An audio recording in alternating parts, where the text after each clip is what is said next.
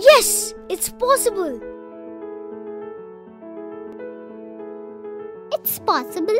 What do you mean by it's possible? Okay, let me tell you.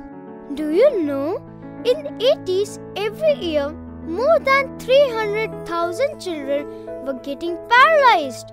Hmm, which means a paralyzed family, society and country. We are thankful to Rotary, UN agencies and all the governments who promised us a polio-free world in 1988. They are doing it all alone? No, most international and national NGOs extended their full support for this noble cause.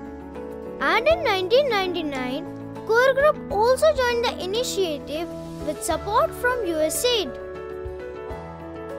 Starting with India, Ethiopia, Nepal, Bangladesh, and Angola, its work expanded to South Sudan, Nigeria, and Horn of Africa. Gradually, Bangladesh, Nepal, and Angola graduated. The core consortium has 9 international and 30 national NGOs who are contributing significantly at national, state, and district level in making a world free of polio. But how? Do they have a magic box or a stick?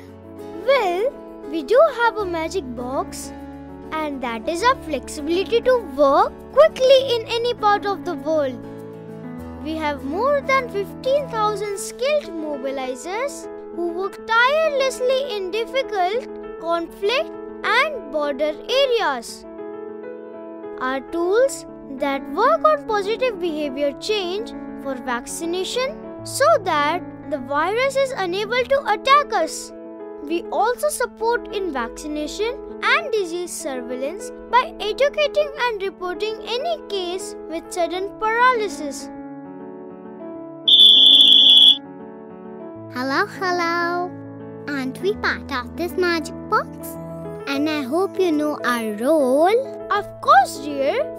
We form small groups that persuade mothers to bring their children for vaccination. Starting with our schools, we also promote hand washing, use of toilet and keeping surrounding clean and so disease free. With our army of mobilizers and innovative approaches, we reach over 6 million children in selected countries with bucket full of polio drops and now injections. Ouch! So, will our world be polio free or not? Yes, my friend, we are almost there. And because of our joint efforts and vaccine breakthrough, 80% of the world is now polio free. Now, we must remain together till the polio virus is permanently removed from the two countries it still hides in. So, fellows, will you help us in winning the game?